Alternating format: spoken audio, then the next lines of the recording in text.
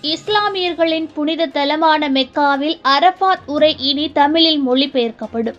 உலகெங்கிலும் இருந்து வரும் இஸ்லாமியர்கள் ஹஜ் புனித யாத்திரை மேற்கொள்ளும் மெக்காவில் அரஃபாத் பிரசாங்கம் பதினான்கு மொழிகளில் மொழிபெயர்க்கப்படும் என்று அறிவிக்கப்பட்டுள்ளது.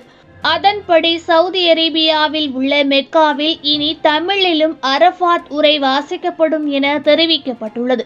இது குறித்து மெக்காவின் தலைவர் அப்துல் ரஹ்மான் அல் சுதேஸ் கூறும்போது அரஃபாத் உரை மொழிபெயர்ப்பு முயற்சியானது தற்போது ஐந்து ஆண்டில் அடியெடுத்து வைக்கிறது.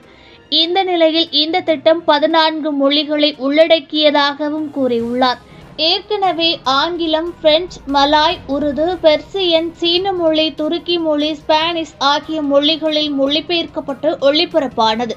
இந்த நிலையில் இனி தமிழ் மற்றும் வங்கள மொழிகளிலும் மொழிபெயர்க்கப்படும் என கூறப்பட்டுள்ளது. அரஃபாத் உரை மொழிபெயர்ப்பு என்பது உலகத்திற்கான ஒரு பரந்த திட்டமாகும். இதன் மூலம் புனித தலங்களுக்கு வருபவர்கள் அரபு அல்லாத பிற மொழி பேசுபவர்கள் தங்கள் தாய்மொழிகளில் கேட்க இந்த திட்டம் உதவுகிறது. சுமார் இருநூறு கோடி பேருக்கு இது பயனளிக்கும் என்றும் கூறப்பட்டுள்ளது. யாத்திரியர்கள் மற்றும் பார்வையாளர்களுக்கு சேவை செய்ய நவீன தொழில்நுட்பத்தை பயன்படுத்தி இஸ்லாத்தின் நிதானம் மற்றும் சகிப்புத்தன்மை பற்றிய செய்திகளை உலகிற்கு தெரிவிக்க தலைமை ஆர்வமாக உள்ளது. அதன் பொருட்டே இந்த நடவடிக்கைகள் எடுக்கப்பட்டுள்ளதாக அவர் கூறியுள்ளார்.